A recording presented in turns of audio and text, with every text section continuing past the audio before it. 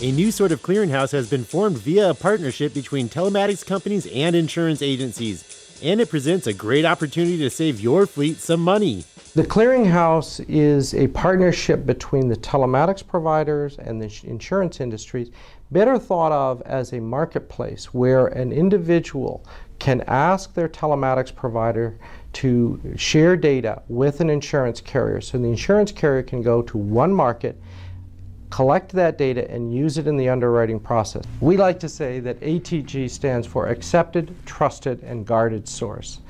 It's an accepted standard of data.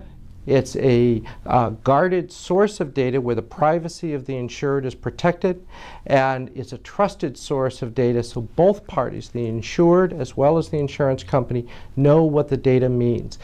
The best part of what ATG does, in our opinion, from a fleet's perspective, is the fact that we provide that fleet owner an ability to understand their score before they agree to share the data. And that's key people want to know what is the insurance company going to think of me? And they want to be able to know that before they agree to share. And as a result, we have seen a dramatic improvement in the number of companies that are willing to share their data with their insurance company as a result, get credit applied to their insurance.